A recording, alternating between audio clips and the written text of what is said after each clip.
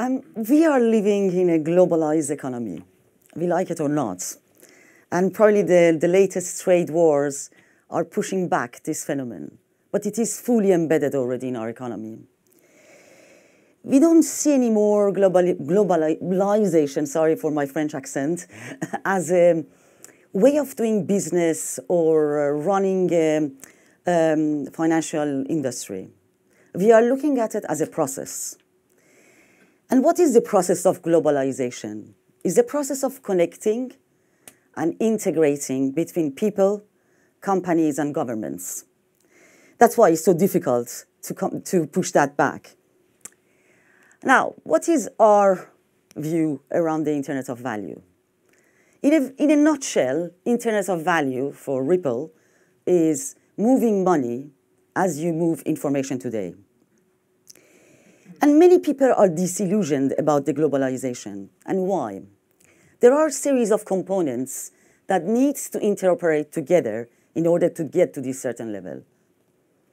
If you think about a fire, you need three elements, and if one of them is missing, you will have only smoke.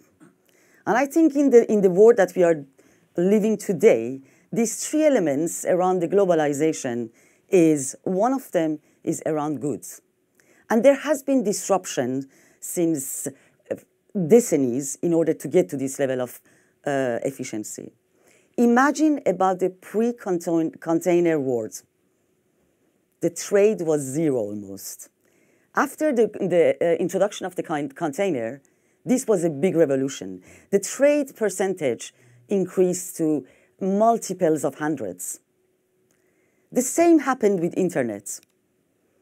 The day that we started, I think early 90s, it was very important in which network are you. Are you thinking today which network, network are you using in order to send your uh, emails? No. Because the, the, the real disruption is creating the interoperability between different networks. When you think about money, money and the process of the cross-border, which is the end leg of any financial transaction, is still handled based on a process going back to Medicis. And this has, hasn't changed. If you are a banker, you know that. Cross-border payment is a sequence of liabilities between the parties involved in a transaction. And nobody has changed it it is decentralized fully because there is no central bank dealing with that. So you have a very complex uh, process which is called correspondent banking, which is enabling the move of money from one part of the world to the other. There are a series of structural issues behind this. If you are sending cross-border today, you don't know what is the amount that will get to the destination. And I can tell you, even for, for a small mm, uh, ticket size like 50 euros, big part of it is, is actually absorbed by multiple intermediaries in the chain. In other words, today, if you are part of the financial industry and you are dealing with cross-border, you have to tap, trap capitals in the destination countries. So that means that you pre-fund accounts. Banks, they do that for you, and this has a cost to the economy. As an individual, as a financial players, as any part of this chain, we are paying for this. And imagine if you are part of the unbanked world and you are sending money cross-border.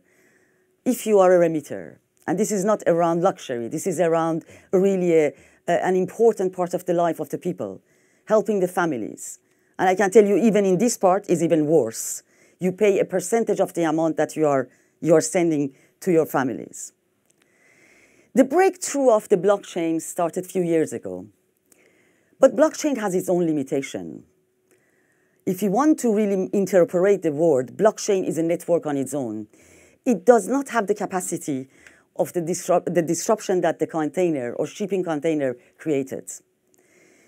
So when you look at the world today, is, and the way that we are looking at the use case of the uh, digital asset, because when you are talking about the blockchain, there is no way of avoiding actually the digital assets.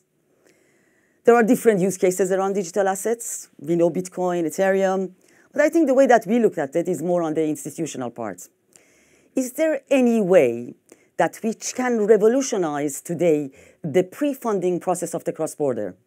So rather than trapping the capitals into destination two days or three days prior and creating this cost for the economy, is there any other way with this new technology? So our use case is very simple. And it's not necessarily replacing fiat currencies like US dollar or euro. Imagine in the more difficult or exotic currencies that um, there is more and more reluctant, reluctances to, to trap capital or keep uh, accounts. Is there any other way of transfer, transferring money without actually um, sending the money in advance? So that's where we get to the digital asset. In our case, is XRP, which is our, uh, our native digital asset. Is that rather than sending money in advance, the moment that you need this money, you go and uh, on demand request for this liquidity. So basically, you use the digital asset, and in this case, XRP, as a bridge currency between two fiat currencies. So you're not changing the board. You're not replacing currencies today. This, this world will continue for a few years. I don't think that we can plug blockchain and change the world dramatically. So the disruption will happen progressively.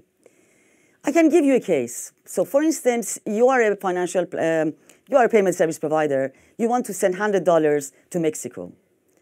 So you go to the crypto exchange. You have your hundred dollars. You convert that to XRP, and immediately after, you convert back to the Mexican peso, and then you onward deliver to the local market. This is changing completely the way that the banking today is happening.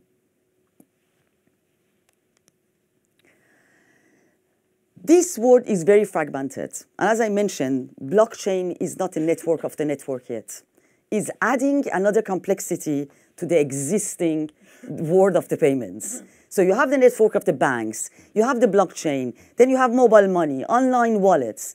Can you imagine in what a fragmented world we are living? And if we don't think about what we have learned from the history of the payments, we will continue to add complexity to this world. Is there any other way of doing it? And I think that's, that's where the next generation of the techno uh, blockchain technology is leading actually to a protocol that um, is called Interledger Protocol, which is connecting any kind of the networks to other networks. So is what is a disruption that a shipping container did in order to create interoperability between the ship, train, and the trucks.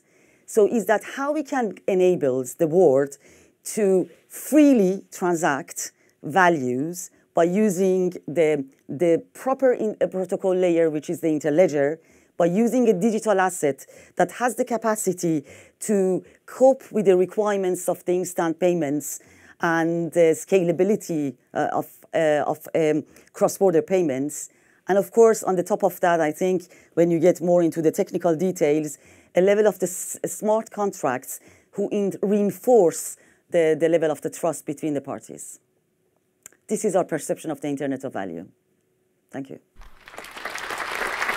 World of the payments. So you have the network of the banks, you have the blockchain, then you have mobile money, online wallets.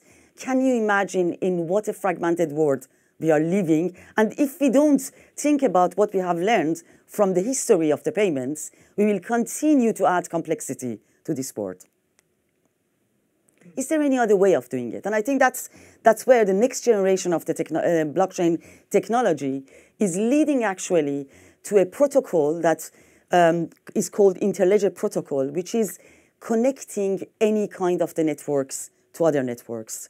So is what is a disruption that a shipping container did in order to create interoperability between the ship, train, and the trucks. So is that how we can enable the world to freely transact values by using the, the proper in, uh, protocol layer, which is the interledger, by using a digital asset that has the capacity to cope with the requirements of the instant payments and the scalability uh, of, uh, of um, cross-border payments. And of course, on the top of that, I think when you get more into the technical details, a level of the smart contracts who reinforce the, the level of the trust between the parties.